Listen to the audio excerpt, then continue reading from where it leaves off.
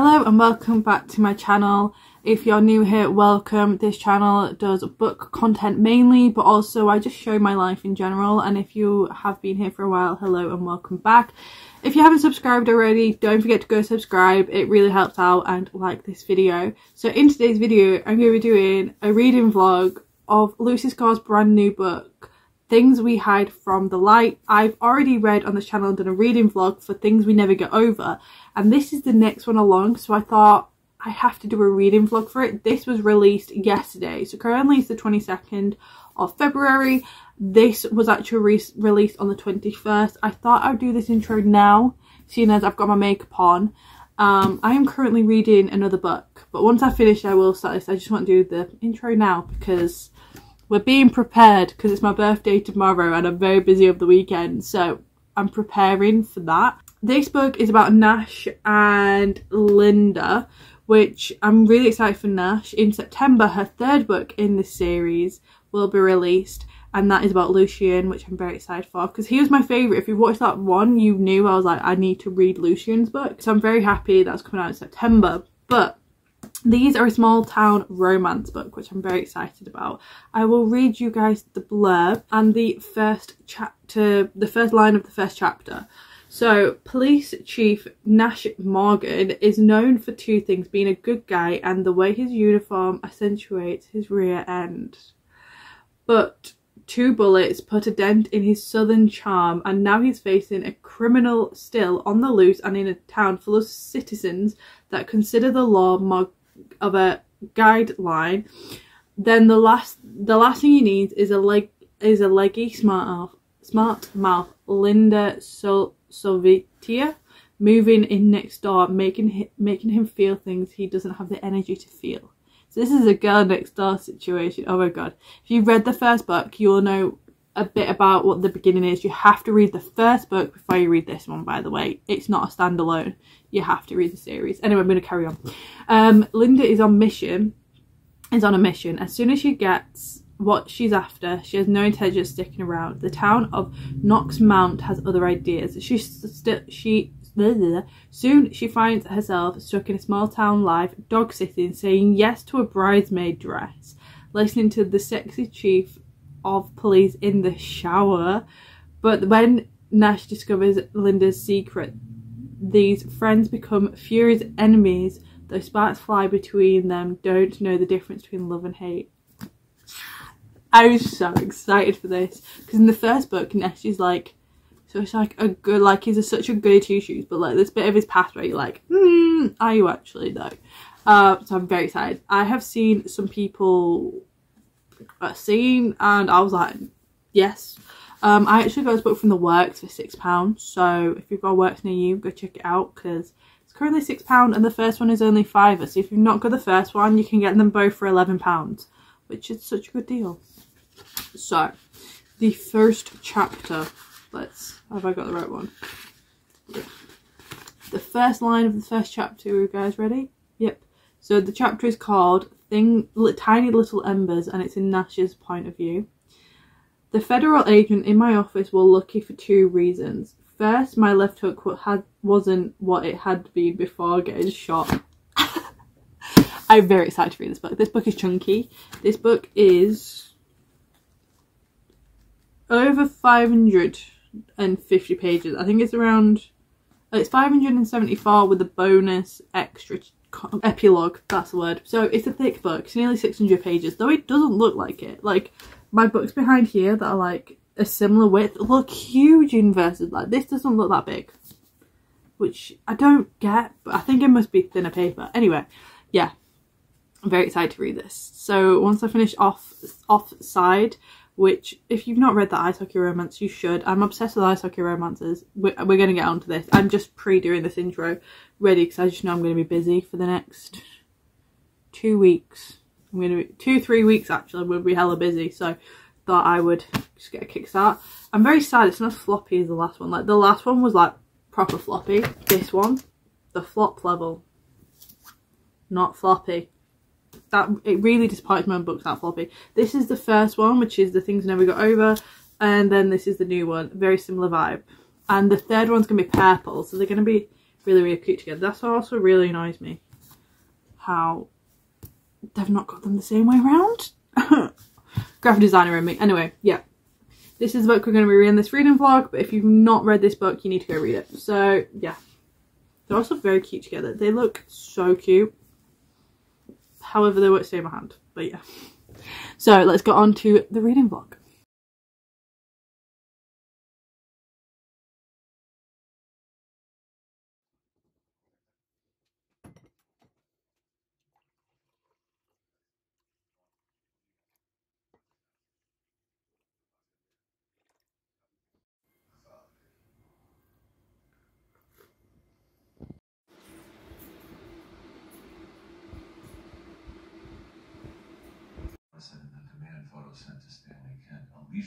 I am only three chapters in, but I have a dissertation to write, so that's why.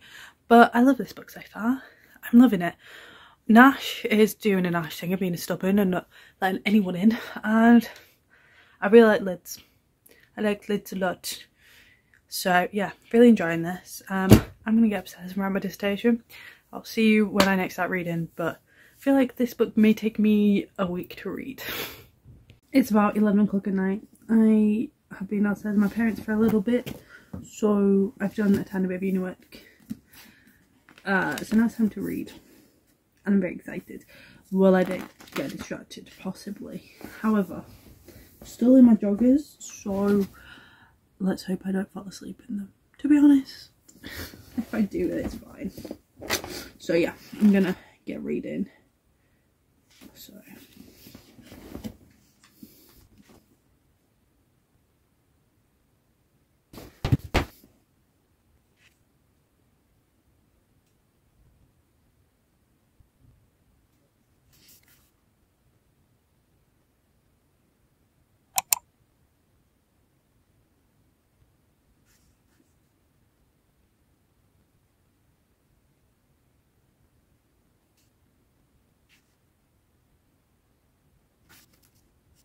The sexual tension in chapter three.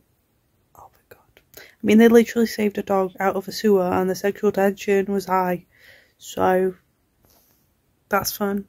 Also, please ignore the fact that I've got this very red eczema mark on my face. Um, it's stress induced and it won't go away. So, please ignore it. I've got to take antihistamine again because I've taken an evening. So, please just ignore it. It's really, really bad, but let's ignore. Interested in what Lisa, no, what's her name, Linda does. She says she works for insurance, but you know, it seems a bit dodgy after chap end of chapter four. It seems like she does something more than that. Also, looking at Nash's files. Hmm. Seems a bit sus. I have a feeling this is gonna bite them in the butt when they get together. 72 pages in on chapter 7 which is called one of the funniest names ever. I love these chapter headings. If I can bloody get to it. There we go. We weren't dry humping. So I'm going to save that for tomorrow morning before I start uni work. And yeah, I'm going to go to bed. It's half past 12. I need to get changed. So yeah, I'm going to head to bed. And I'll see you guys in the morning, bright and... Not bright and early. I'm sleeping in. Oh my god, this is brilliant. So, Lucian, Na- uh, Knox, and Nash are all having a a manly talk, and feelings have been brought up. and Knox goes, "You think about talking to one of those uh therapists?" Knox chokes out. Lucian and I both swing our heads in his direction instead. Oh, fuck you both. Naomi suggests it. I'm man enough to admit it's not a horrible idea if you don't mind spilling your guts to a complete stranger. It's not like Dad gave us any kind of healthy coping mechanisms. it's so bad that when he swung around, he was like blamed it straight on Naomi. Oh my god, that's brilliant. I love this book so much. It, it makes me laugh so much. It's hilarious. So, one of my favourite bands, The Struts, and one of my favourite songs, Could It Be Me, has been mentioned.